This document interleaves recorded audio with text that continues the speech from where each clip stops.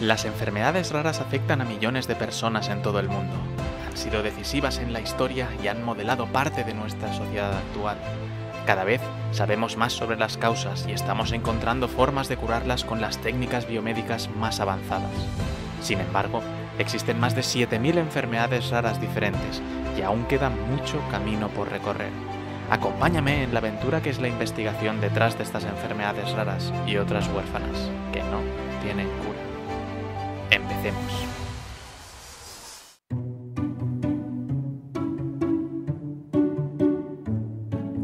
La distinesia ciliar primaria es una enfermedad rara que afecta aproximadamente a una de cada 7.500 personas vivas, aunque como está muy infradiagnosticada, este dato puede variar en los próximos años. Se trata de una enfermedad que mayoritariamente tiene sintomatología pulmonar y lo que se conocen como los defectos de lateralidad, es decir, problemas en la posición de los órganos del cuerpo. Esto se debe a que es una enfermedad sistémica que afecta a todas las células. También se le conoce como el síndrome de Cartagener.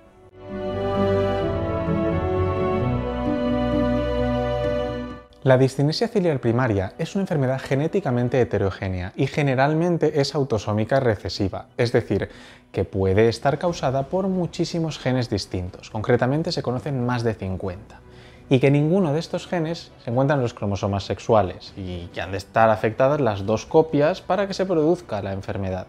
Hay tres genes que son la excepción a esta regla, dos genes del cromosoma X que son RPGC y OFD1 y también otro gen conocido como PIH1D3. Sin embargo, la genética solo explica unas dos terceras partes de los casos, es decir, que todavía existen un montón de genes que se desconocen y que están implicados. Pero bueno, este conocimiento ha avanzado muchísimo en los últimos años y se espera que con las nuevas técnicas de diagnóstico, que hablaremos después, avance todavía más. El caso, cualquiera de estos genes que conocemos o los que no están relacionados con los cilios. Y os preguntaréis, ¿qué son los cilios? Los cilios son unas pequeñas estructuras que tienen algunas células que parecen como pelitos. Aquí os dejo algunas fotos para que los veáis. Estos cilios están por todas partes y hay de dos tipos, los cilios primarios o inmótiles y los mótiles. Los cilios primarios son utilizados mayoritariamente por las células como unas especies de antenas para sentir lo que tienen alrededor. Y los cilios secundarios, sin embargo, son un poco diferentes, ya que contienen una estructura central que permite su movimiento. Se encuentran en muchas zonas del cuerpo, en el tracto respiratorio, en el tracto vaginal, en los espermatozoides, en el oído, en el cerebro y durante la formación del embrión, aunque estos son un poco distintos. El caso, los cilios se mueven así, como si fueran un pequeño latiguillo. Este movimiento, combinado con cientos de cilios, crea una fuerza que actúa como una cinta transportadora. En el aparato respiratorio, esta fuerza es la que permite que salgan las mucosidades del interior de los pulmones hacia la garganta, para que así nos las podamos tragar y destruir todas las partículas de polvo y bacterias y virus que hemos respirado. Los cilios de la formación del embrión, como he dicho antes, son un poco diferentes, ya que no tienen la estructura central y por tanto se mueven como si fueran un pequeño motorcito. Estos cilios generan corrientes que son las que les dicen al cuerpo qué lado es la derecha y cuál es la izquierda. Por tanto, si los cilios no se mueven, pueden pasar dos cosas. La primera, que las mucosas no puedan salir del interior de los pulmones y la segunda, que cuando el cuerpo se esté formando no sepa qué lado es la derecha y cuál es la izquierda. Y justo ahí están los dos problemas principales asociados a la distinesia ciliar primaria.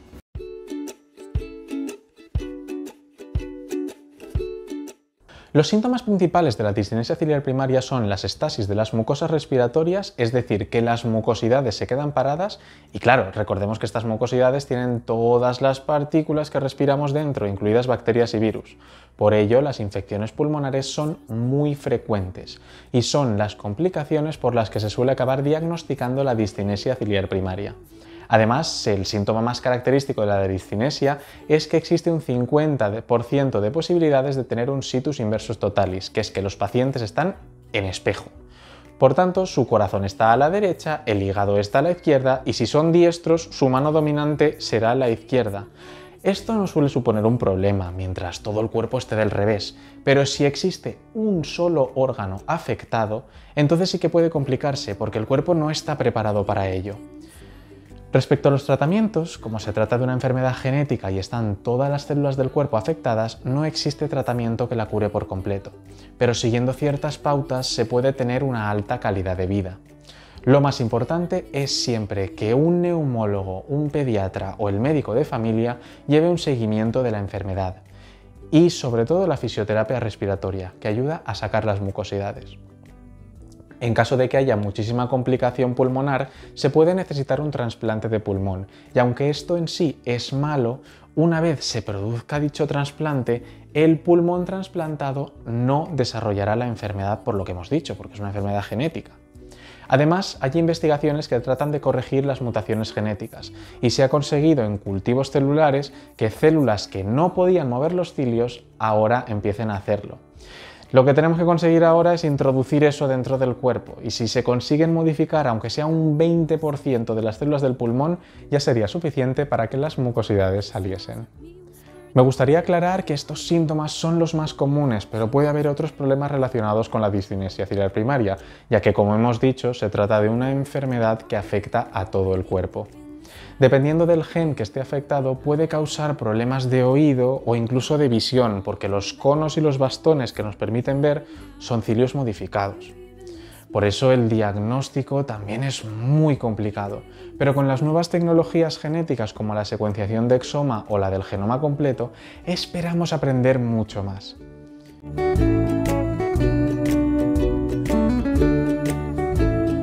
Pero ¿cómo es vivir con la enfermedad? Afortunadamente tenemos a una invitada de lujo que nos lo va a contar, Trini López, que es la presidenta de la Asociación de Discinesia Ciliar Primaria España.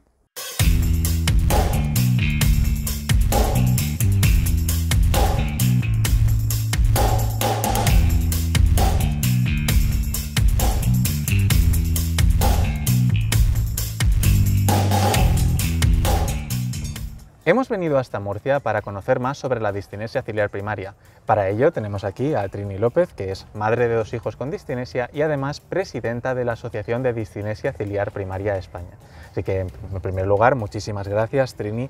Y me gustaría preguntarte cómo es convivir con esta enfermedad. Pues, en primer lugar, Daniel, agradecerte que, hayas venido. Eh, para nosotros, eh, las familias que convivimos con la distinesia ciliar primaria es muy importante que nos ayudes a, dar difusión al nombre de nuestra, de nuestra patología. Eh, y con respecto a convivir eh, con la distinesia ciliar primaria, DCP, que decimos, para acortar, o síndrome de Cartagener también, eh, pues es una cuestión que se vive por fases. Eh, no hay una sola manera de convivir porque la enfermedad va evolucionando y pasando por unas fases conforme eh, crecen eh, las personas afectadas. Al principio, cuando nacen, es una fase dura, la mayoría ingresan, se sepa o no se sepa el diagnóstico, porque tarda en saberse el diagnóstico. Imagino que eso es una parte bastante dura, ¿no? Es, es muy no duro. saber lo que pasa. Es muy duro porque un porcentaje muy alto, estamos hablando a lo mejor de un 80%, ingresan en neonatos y a veces en, la UCI. y, esos primeros años son duros, duros porque hay mucha reincidencia eh, en los ingresos y esa parte es dura, porque además tienes que aterrizar en una enfermedad que muchas veces en los inicios no está diagnosticada y vivir en esa incertidumbre y y como además por fuera no se ve ningún tipo de patología, es una disfunción orgánica, ¿no? Eh, vives mm, cierta incomprensión, cierta incomprensión y es duro. Ya imagino, claro. Después, cuando se entra en una fase más, más llana, eh, en la que la patología, entre comillas, se relaja, hmm. va eh, deteriorando los pulmones, pero más lentamente, eh, es menos florida, eh, tienen menos recaídas y ahí se puede llevar un poco mejor. Eh, no obstante, nunca llevas una vida mm, exactamente normal o parecida a la normalidad, ¿no? Nunca llevas una vida así. Em, pero de nuevo, eh, el no tener una disfunción que sea visual eh, para todos crea una sensación difícil. Difícil. difícil, difícil porque... Por la incomprensión, ¿no? Claro, claro, por la, por la incomprensión.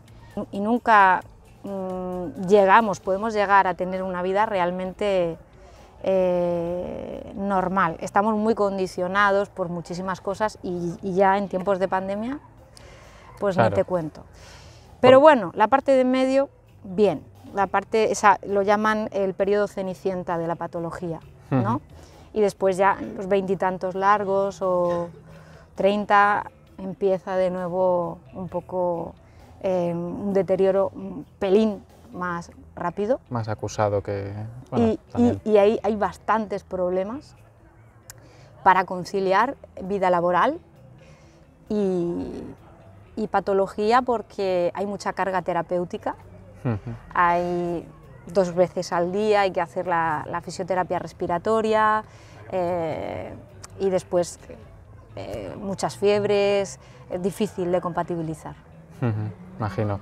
Así por eh, hacer una idea, hacernos una idea, ¿cuántas veces has ido al hospital este año? Por el... Eh, bueno, ¿O, has tenido que ir a sesiones de terapia? A ver, a sesiones de terapia, pues hmm. a lo mejor vamos una vez al mes de fisioterapia, un poco para actualizar las técnicas.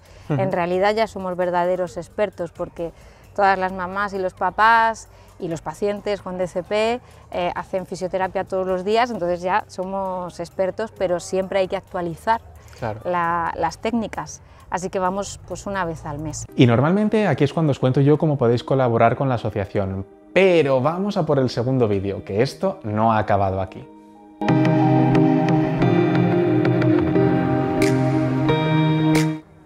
Estamos de vuelta con Trini para hablar sobre la Asociación de Distinesia Ciliar Primaria España y me gustaría preguntarte, Trini, ¿qué puede aportar la Asociación de Distinesia Ciliar Primaria a los pacientes de esta enfermedad?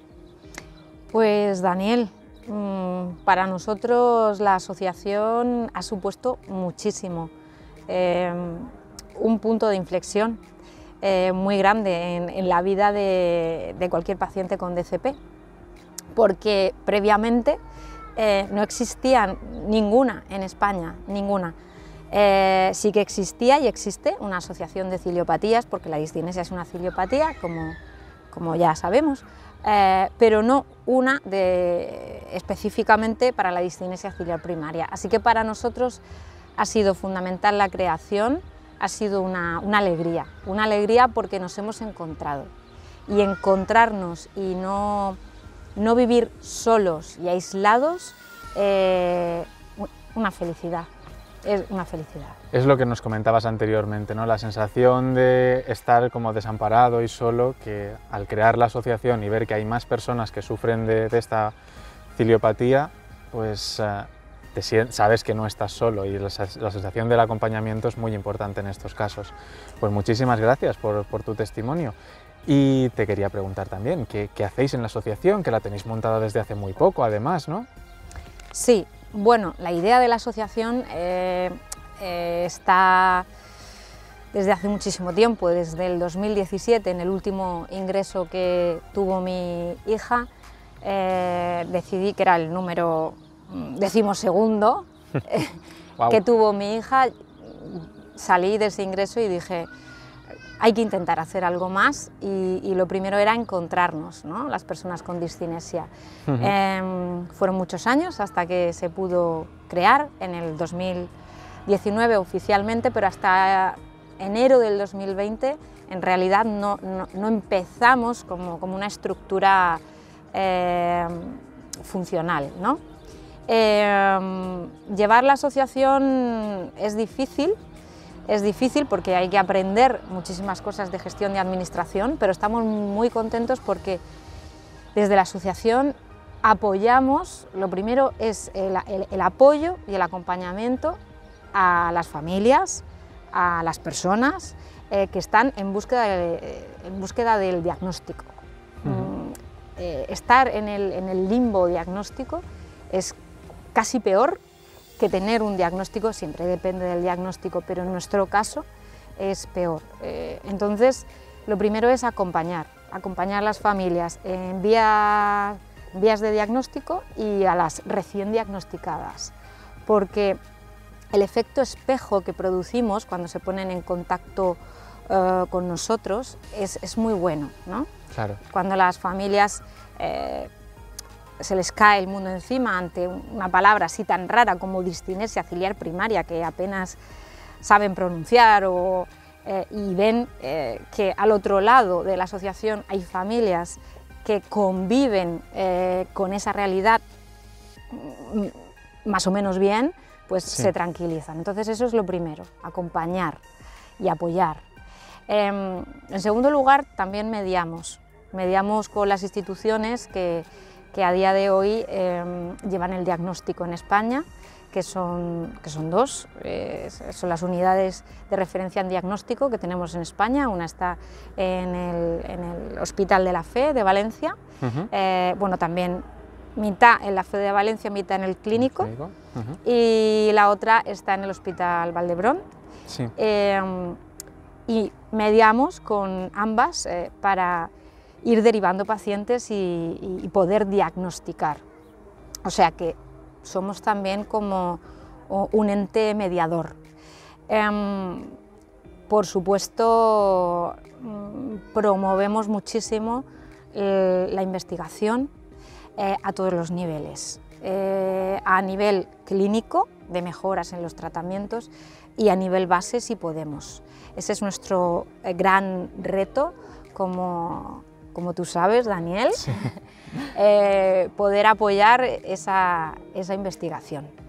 Mm, e intentamos que los pacientes se incorporen a, a las investigaciones que hay en curso a nivel europeo y a nivel nacional. Eso es eh, muy importante, por supuesto, para seguir avanzando y conseguir nuevos tratamientos.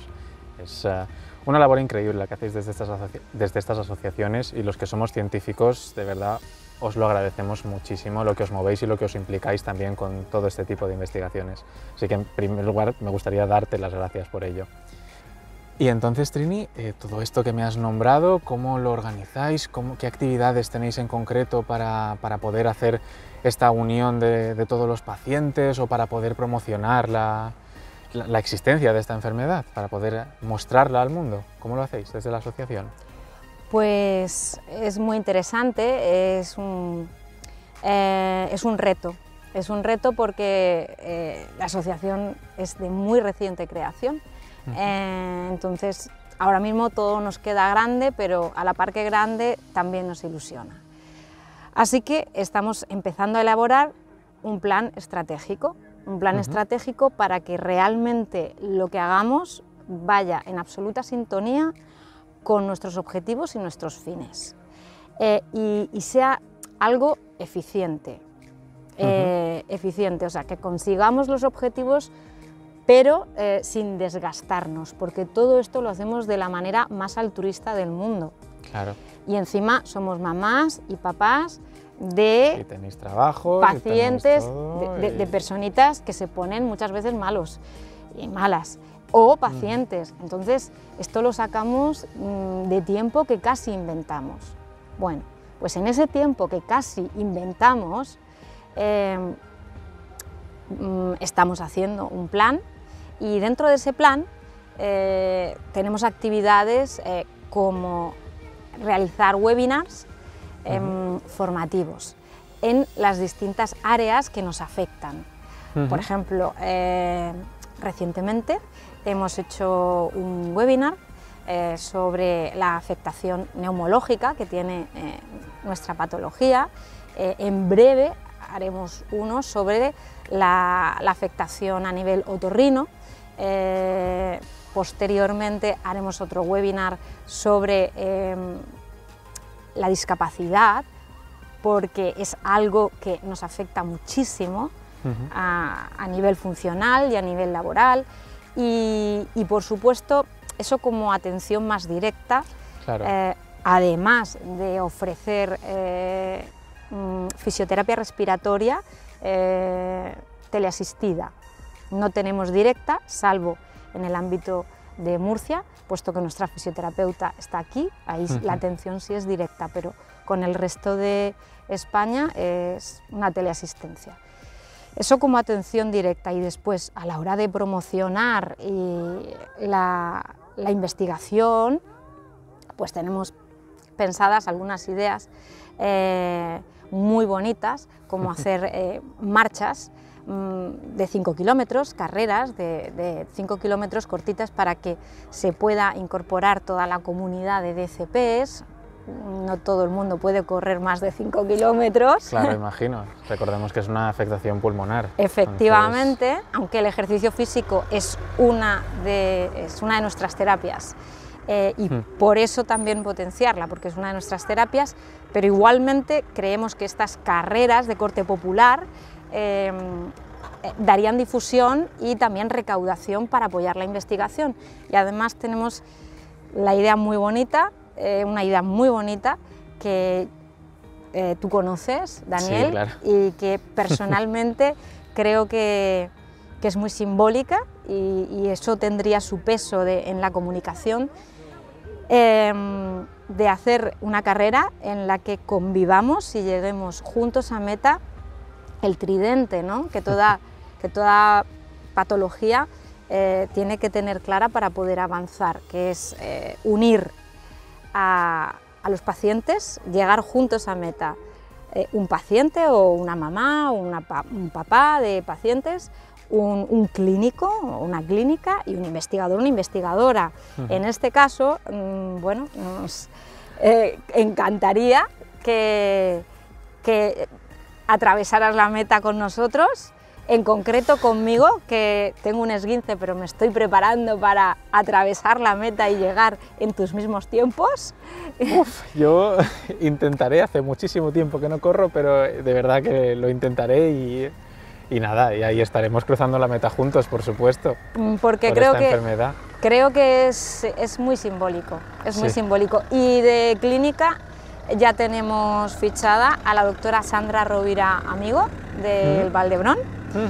Y se trata de, llegar juntos a la meta y simbolizar que este camino, si lo hacemos juntos, llegaremos mucho más lejos. Pues sí, desde luego. Es muy, muy, muy importante lo que has dicho del tridente y yo creo que es una forma maravillosa y muy simbólica de poder eh, juntarnos a todos y crear algo que puede ser tan bonito. Muchísimas gracias de verdad por, toda esta explicación maravillosa que nos has dado de cómo funciona toda la asociación y de, este proyecto que me has propuesto. Ya lo tengo que decir a los espectadores que ya, ya lo conocía de antes porque me lo ha estado nombrando y la verdad es que me apetece muchísimo hacerlo, así un poco en confianza os lo digo. Así que, que nada, muchísimas gracias Trini y espero de verdad cruzar la meta contigo cuando organicemos esta carrera.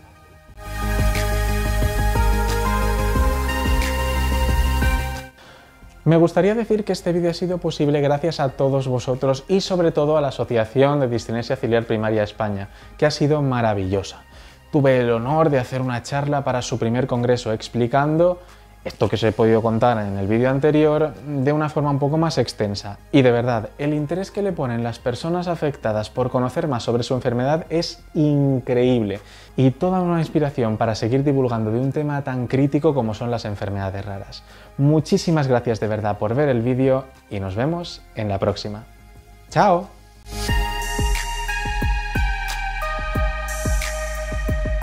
Hola, aquí el Dani de edición.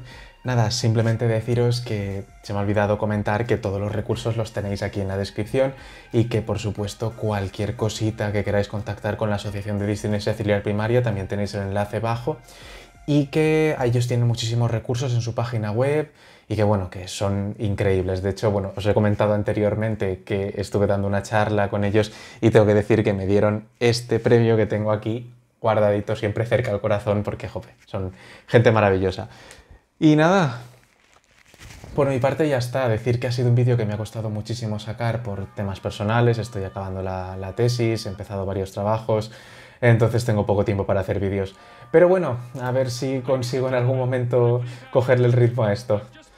Y nada, os espero en el próximo vídeo, que puede ser dentro de un mes o puede ser dentro de un año. Chao.